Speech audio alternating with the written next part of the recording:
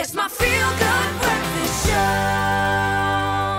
The feel good continues because we are still hanging out with supermodel, actress, activist, and businesswoman Naomi Campbell as she shares more about the 2020 Arise Fashion Week. Thank you so much for staying with us. You're welcome. I want to get into this. What do you think of this year's Arise Fashion Week theme? Amazing, right? I think it's wonderful to have these to have the Rise 30 under 30, to have them have this opportunity to showcase their work, to have be recognized, to get on the platform in other countries and be seen and buyers and well, I'm really proud and proud of the work that I've seen. But it's just a great footing and start for their brands.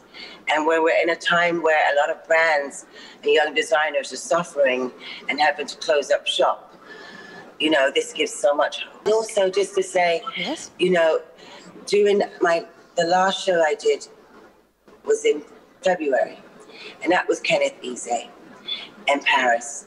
And it's taken a long time for our fashion capitals to have accepted these designers coming from these emerging markets, Africa, India.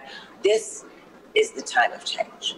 So now we hope going forward they will be embraced to show their creativity on the fashion capital platforms. Absolutely. And you've been in this space for quite a long time. What is your professional impression of the young African designers? I love how they they do everything with passion, like everyone does. It's you know cliche thing to say, but that's but they do it with simplicity, with their hands. They don't have all the machines that we have out west, and they go through their journey. There's always in their story when they're explaining about their presentation, it's part of their journey, their experience, or their journey of their ancestry, or the journey of their tribe, and it's authentic. That's what I love about it. It's authentic. Would you say that the industry supports African designers enough? Or if not, what can be done to really just change and boost this? Well, I think doing things like Arise 3030 and Arise in the past, it gives opportunity to all designers from all over the continent of Africa. All the applications come from everywhere across the continent. So even the diaspora too. So I feel it's just a matter of people's minds and knowing that there is a change and they have to be part of that change. This is the new world we are in today. Absolutely. I'm going to put you on the spot right now. Off the top of your head, who would you say is your current favorite model from Africa? Adut Akech. She's Sudanese, even though she lives in Australia. But I'm very proud of Adut. I call her like my daughter.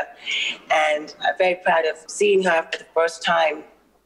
She was just in high school doing her exams and seeing where she's come just brings me so much joy. Oh, that warms my heart as well. But I need to talk about something amazing that you did during lockdown. The inspiration behind your YouTube series, No Filter with Naomi. Will you be creating any more content with regards to your YouTube platform? So no filter. I had no planning and just started on my dining room table with a stack of books and my iPad piled on top.